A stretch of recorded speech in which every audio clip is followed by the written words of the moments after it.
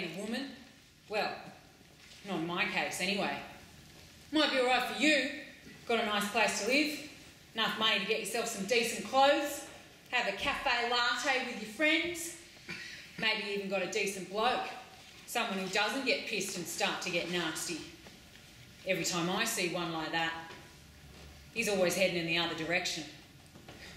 Yeah, I know, there's always your family.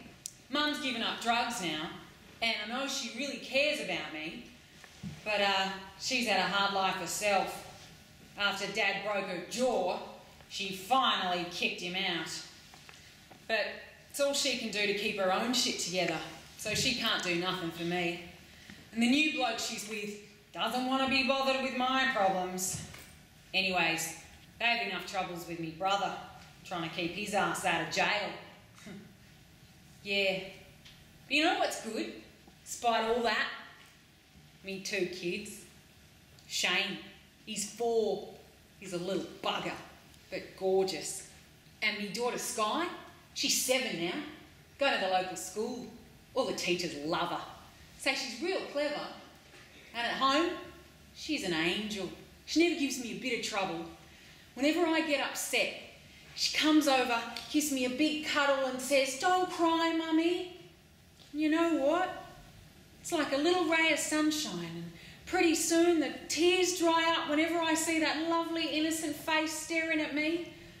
Yeah, I don't know how I'd survive if I didn't have those two.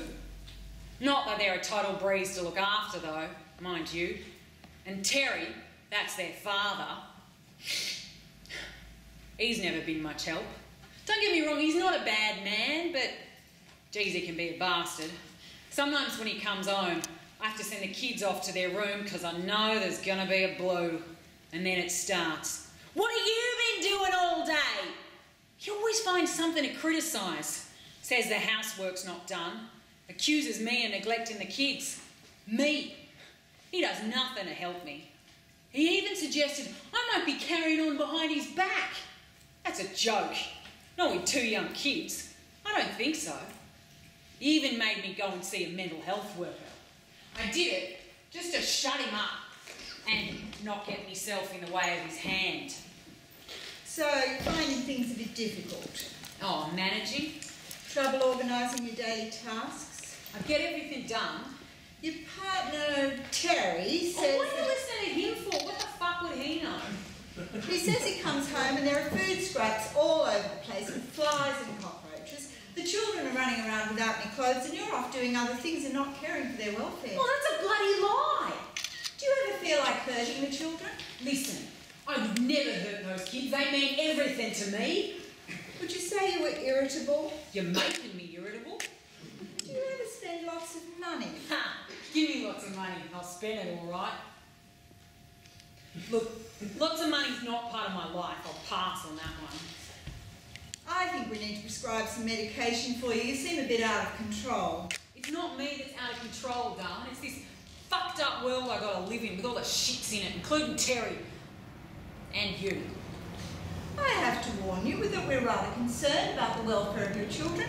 If things don't take a turn for the better, you could lose them. Lose them? Huh. There's no other bastard that could look after them.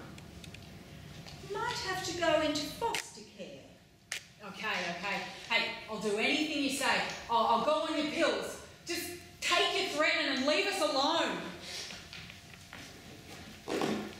So, I started on the medication. Maybe it relaxed me a bit, which is not but of course that made me even more worn out. And well, the kids see that and they run all over you. But I've still, in my opinion, been looking after their every need, which is not easy when Terry's ranting around screaming at me. That upsets him, that does. And it upsets me too. And now he's saying he's just about had enough. I know what that's about. He's getting real chummy with that bitch from the club. You know the one with the long blonde hair and the big boobs? Yeah, I seen them talking together, getting on like a house on fire. What an idiot he is. She's only using him. I'll admit, she doesn't have two hangers on like I've got. The only hangers on she has are the ones in front of her chest. Well, stuff you then. Go. See if I care. Christ, you bastard. First you crap all over me and then you leave me alone. No shit. Terry, I'm sorry. I'll try harder. Please don't leave. Terry? That's my name. I didn't think you'd be here this early. Good to see ya. Lucky I got good eyesight. Don't think I'd have found you in all this mess. Where you been all day? What do you mean? I've been right here. You could have. No, stay in this brothel. You've been out, haven't you? No, no, honest, I've been right here. Look, I'll admit I'm not the world's most organised person, and sometimes I just don't know where to start, but I'll get started on it right now. Just give me a chance. I'd say you got started on it quite some time ago. Now, I'm not talking about the housework. That's what you've been doing, isn't it? That's why you can't get anything done round here. You've been out shouting! No, Terry, it's you. You're the one I care about. Shut up, you lying bitch! You can piss off with whoever it is you've been seeing. And tell him not to show his ass anywhere near me because he'll stop his fucking head off. Oh, and you can forget about keeping the kids because they're going to my mum's. I won't be seeing you later.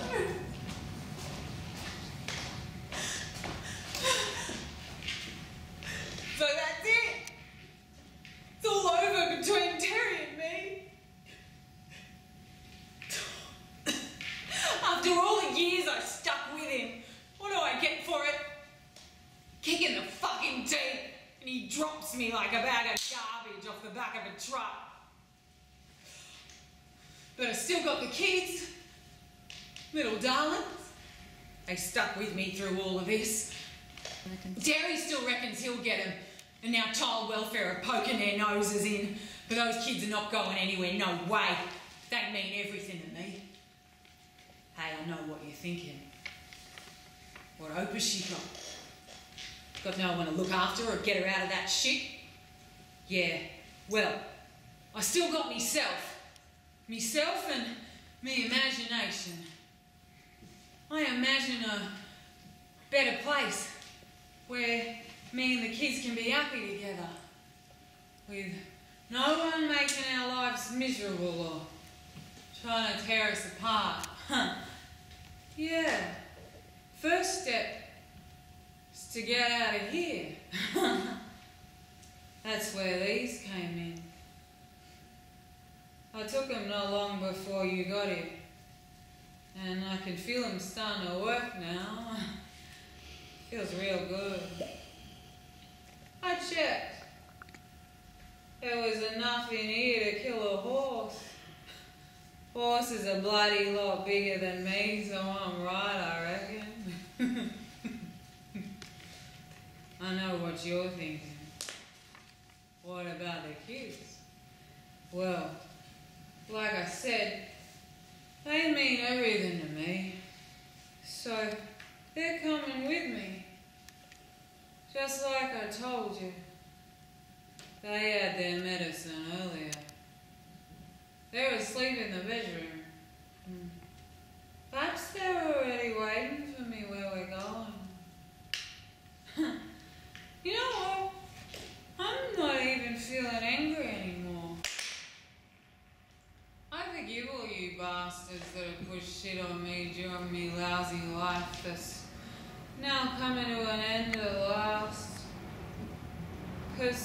You're going to be left with all the cruelty that you've been trying to avoid looking at for so long.